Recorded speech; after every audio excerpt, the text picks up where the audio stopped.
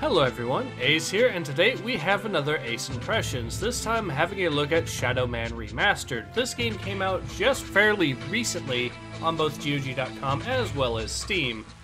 So, let's go ahead and load into it, but first you may be wondering what exactly this game is, and well, actually, the easiest way for me to describe it is it is an M-rated Metroidvania style game with that is in third person. So an interesting little idea, I would say. Um, but yeah, very much definitely M-rated.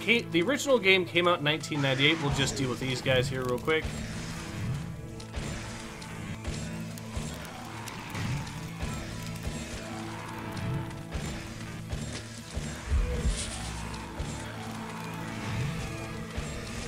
As you can see, it earns the M rating. We have to take these guys while they're staggered, or else they'll regain a lot of their health.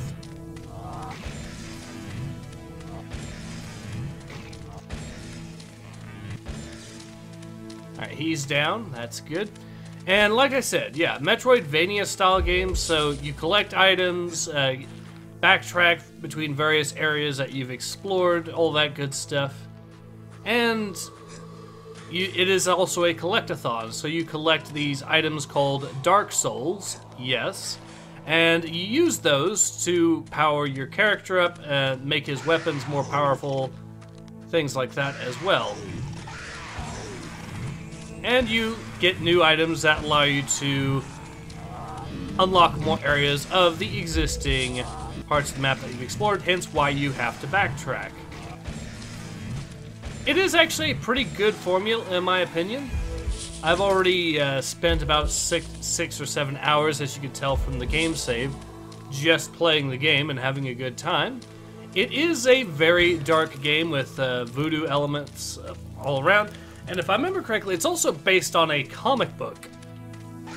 I believe, yeah. So, I will say this, I have not read the Shadow Man comics, although this remaster does come with uh, a comic that's about 40 pages or so, so that might be another reason to potentially acquire the game. Now, later on, from what I understand, you can actually get an ability that allows you to walk on lava, but we don't have that right now, so instead, we'll have to avoid that and just go around the other way. Um, Alright, so we'll just head up here.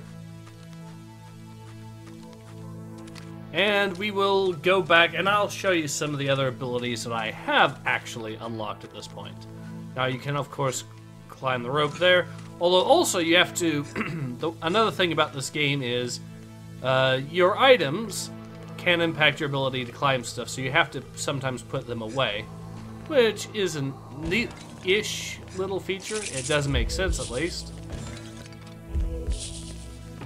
Alright, so we do get magical items that, uh, such as the Asson Flambeau and the baton that we've already got equipped, so I can show that off as well. These take up magical energy, but they are an effective little way to deal with some of the enemies here.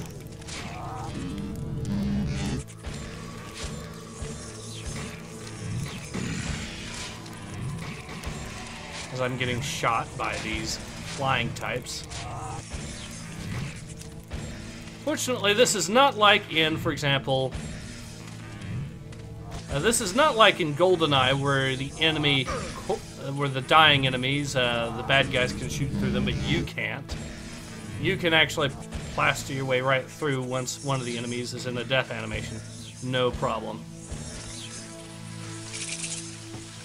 Okay, so we seem to be decent on health.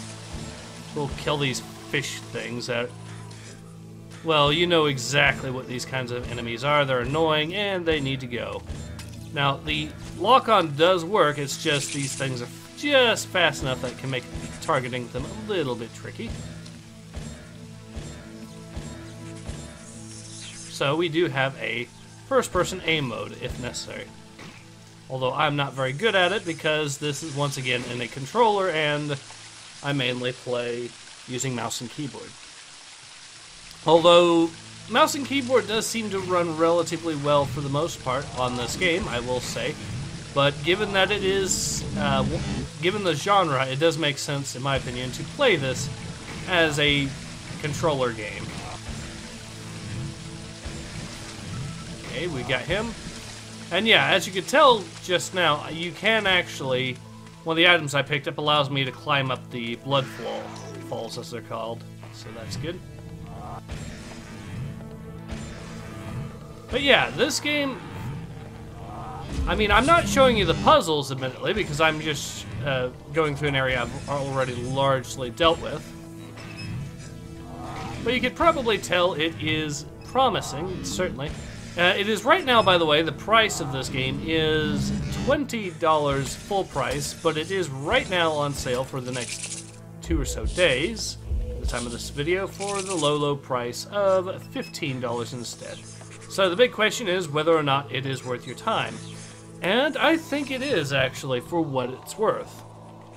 It is a very lengthy game. It is a very labyrinthian game, too, I should mention. Now, the original game did have a map, a physical printout map, uh, that it came with. This version does not have it, unfortunately, but that appears to be partly due to the fact that, well, they have added an extra room or something, from what I've seen, so that could be a large part of the reason. The map is just simply out of date. Still, it would be nice to have more documentation with this game. Uh, they do actually, you do actually have a menu or a description of sort in-game of what your various items do. For example, you have the prophecy cards, which show you your various abilities that you can unlock. So yeah, there is that. But yes, ultimately this, well, I haven't, like I said, I haven't shown you any of the puzzles because I've gone through this area already. But I think you do have a basic idea of what to expect with this game.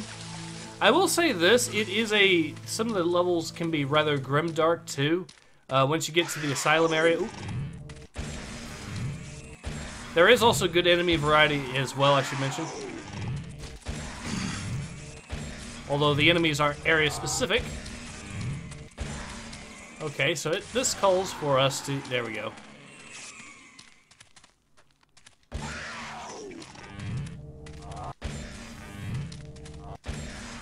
I've also noticed that more enemies spawn in sometimes uh, than when you first go through an area, so they probably do that to mix it up as well.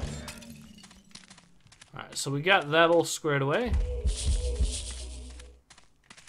Now we can do a fast travel as well, so you can always easily go from one point of a of the overworld map to another if you really need to.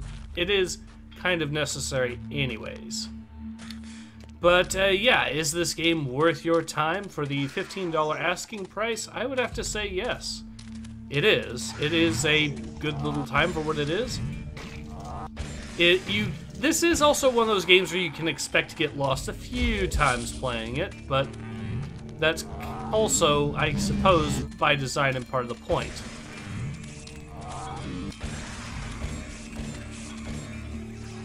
There we go. Alright. There we go. So I think I'm going to go ahead and just save, and that should about do it. Uh, yeah, so this has been Ace with Shadow Man Remastered. Is it worth the $20 asking price at full price? Yes, so it is also, in my opinion, therefore, worth the $15 asking price that it is now that it's on sale. It's definitely a game worth picking up. Um, if you're into a darker themed style game, definitely pick this one up. So yeah, this has been Ace. Hope to see you guys again soon. Take care.